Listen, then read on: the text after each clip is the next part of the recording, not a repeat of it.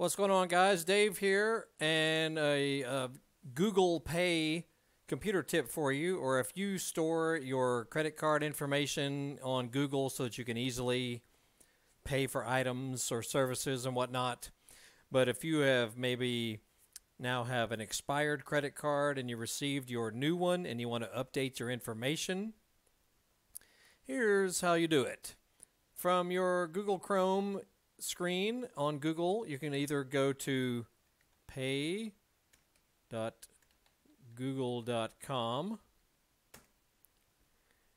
The account will pop up here. You will then go to payment methods. And I'm not going to click on that because it'll show you mine, but that's where you'll go to update or delete credit cards that are stored in your Google account.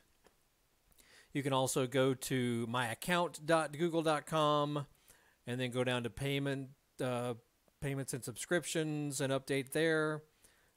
So there's a couple of ways you can do it. Anyway, that's it. We have uh, two YouTube channels we invite you to come see. Uh, just Google Horsepower House. We're also on Facebook as well as eBay and Amazon. You know, we sell motorcycle related parts and tools. So if you're ever looking for stuff to sell or to buy, rather, uh, visit our store. We have all kinds of cool stuff that might interest you. Anyway,